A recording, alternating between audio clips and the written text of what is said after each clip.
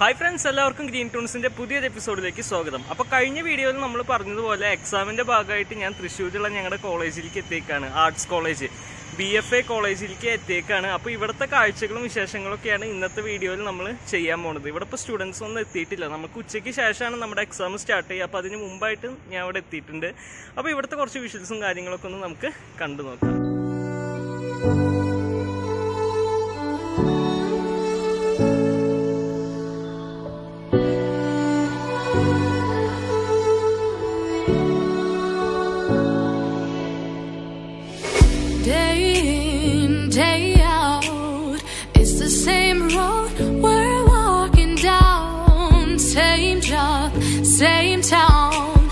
We've been told that's the way our world goes round. Walking on the grounds we've always known. Stepping on the footprints in the snow. But when it melts, the other ways will show. We're gonna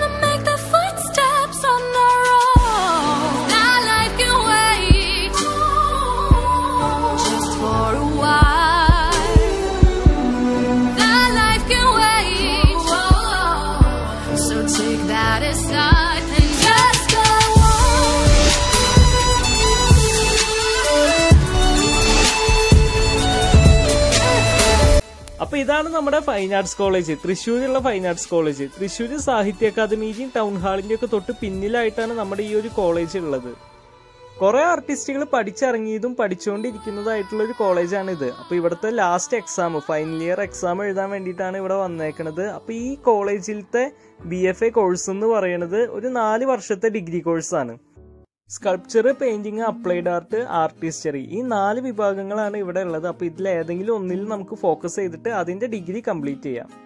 അപ്പൊ അത്യാവശ്യം ചിത്രം വരയ്ക്കാനും അതുപോലെ ആർട്ടൊക്കെ ഇഷ്ടപ്പെടുന്ന സുഹൃത്തുക്കൾ നമ്മുടെ ഇടയിൽ ഉണ്ടെങ്കിൽ അവർക്കൊക്കെ ചൂസ് ചെയ്യാൻ പറ്റിയിട്ടുള്ള ഒരു കോഴ്സാണ് ബി എഫ് എന്നുള്ള ഈ ഒരു കോഴ്സ് കോളേജിലേക്ക് കടന്നു ചെല്ലുമ്പോൾ തന്നെ കുറേ സ്റ്റോണിലും അതുപോലെ മറ്റ് മെറ്റീരിയൽസിലും ഒക്കെ ചെയ്തെടുത്ത സ്കപ്ചറുകളാണ് കാണാൻ പറ്റുക. അപ്പോൾ ഇപ്പൊ ഈ കാണുന്നത് കംപ്ലീറ്റ് കരിങ്കല്ലിൽ ഉണ്ടാക്കിയെടുത്തിട്ടുള്ള സ്കപ്ചറുകളാണ് ഇത്തരം മെറ്റീരിയൽസിൽ നമ്മൾ വർക്ക് ചെയ്യുമ്പോൾ അതിന്റെ സൈസിനും ഡീറ്റെയിലിങ്ങിനും അനുസരിച്ചിട്ട് മാസങ്ങളോളം നമ്മൾ വർക്ക് ചെയ്യേണ്ടതായിട്ട് വരും.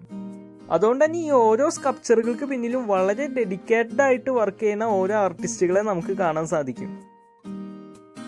ഈ വീഡിയോയുടെ തുടക്കത്തിൽ നമ്മൾ കണ്ട വർക്കുകളൊക്കെ സിമെന്റ് ഉപയോഗിച്ചിട്ടാണ് ചെയ്തേക്കണേ. അതിന്നൊക്കെ ഡിഫറെന്റ് ആയിട്ട് നമുക്ക് പ്ലാസ്റ്ററോ പാരീസ് അതുപോലെ ടെറാക്കോട്ടൊക്കെ യൂസ് ചെയ്തിട്ടും ചെയ്യാം.